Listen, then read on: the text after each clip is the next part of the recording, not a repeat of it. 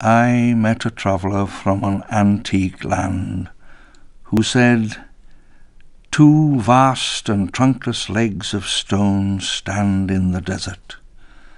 Near them, on the sand, half sunk a shattered visage lies, whose frown and wrinkled lip and sneer of cold command tell that its sculptor well those passions read which yet survive, stamped on these lifeless things, the hand that mocked them, and the heart that fed.